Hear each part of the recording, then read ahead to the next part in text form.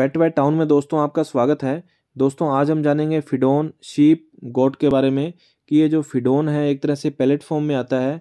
तो ये बकरियों में क्या क्या फ़ायदे करता है, इसको देने से बकरियों में क्या फ़ायदा होते हैं और साथ में जो छोटे किड हैं, उनमें क्या फ़ायदे होते हैं और उसकी डोज़ क्या रहती है प्रेगनेंसी सेफ़ है या नहीं है। तो दोस्तों, सबसे पहले आप हमारे चैनल को सब्सक्राइब कर लीजिए बेलाइकन के बटन को भी दबा दीजिए। तो आइए दोस्तों, शुरू करते हैं। फिडोन दोस्तों है, ये विरबैक कंपनी का आता है और इसके ऊपर फिडोन शीप गोट लिखा होता है। अगर दोस्तों इस पैकेट को ओपन करके देखेंगे तो अपने जो अपने को इसके अंदर क्या है कि पैलेट फॉर्म में अपने को ये जो फिडोन मिलता है, एक तरह से जो भुजिया मिलते हैं तो उस तरह से ये अपने को मिलेगा। और जहाँ तक अपन बात करते हैं कि जो पशुपालक भाई जो गोट फ़ार्मिंग करना चाह रहे हैं या गोट फ़ार्मिंग कर रहे हैं और वहाँ पे अपन अच्छा जो प्रोडक्शन लेना चाह रहे हैं तो वहाँ पे क्या है कि इसका बहुत ही अच्छा उपयोग है, बहुत ही फ़ायदेमंद है। जैसे कि मैं बता रहा हूँ कि जहाँ पे लगता है कि जो छोटे जो बकरी के बच्चे हैं, मेमने हैं या भेड़ के बच्चे हैं, उनको जल्दी ग्रोथ करने के लिए, जल्दी उनको बड़ा करने के लिए, ग्रोथिंग के लिए, उनका वेट गेन करने के लिए भी अपन इसको दे सकते हैं। और साथ में क्या है कि अगर बकरी ब्याने वाली है, उसके फीटस की अच्छी ग्रोथ के लिए भी दोस्तों, अपन वहाँ पे इसको दे सकते हैं।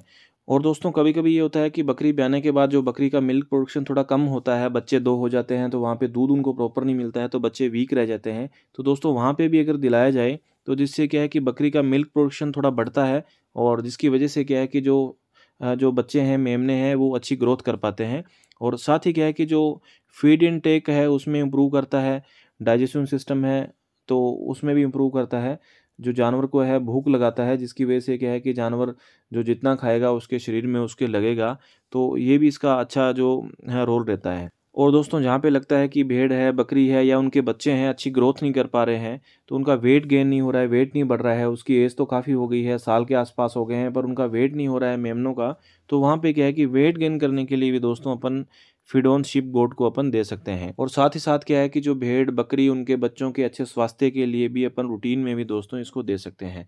और जहाँ पे क्या है कि इनफर्टिलिटी की समस्या हो, भेड़ और बकरी में, जहाँ पे जो भेड़ बकरियाँ हीट में नहीं आ रही हो या वो कंसीव नहीं कर पा रही हो तो वहाँ पे भी इसके अच्छे रिज़ल्ट रहते हैं, अपन उसको दे सकते हैं।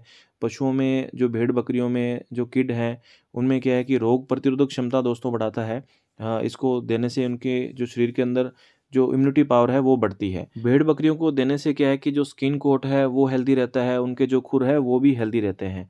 और साथ ही दोस्तों, ये क्या है कि जहाँ पे कभी कभी देखते हैं कि भेड़ बकरियों में जो नर जो जो मेंढे होते हैं या जो बकरे होते हैं, उनमें कभी कभी कैलकुलाई की जो पथरी की समस्या होती है तो वो समस्या उनमें आ जाती है। तो इसको देने से क्या है कि वो समस्या भी अवॉइड हो जाती है, उन समस्याओं को भी दूर करता है, जहाँ पे पथरी बनने के चांसेस ज़्यादा रहते हैं। तो दोस्तों, इस तरह से ये क्या है कि जो फिडोन शीप एंड गोट है।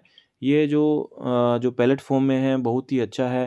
अगर आप गोट फ़ार्मिंग कर रहे हैं तो वहाँ पे आप इसको जो रेगुलर देते रहें और इसकी जो डोज है, वो भी कोई ज़्यादा नहीं है। मैं आपको डोज भी इसकी बता दूँगा।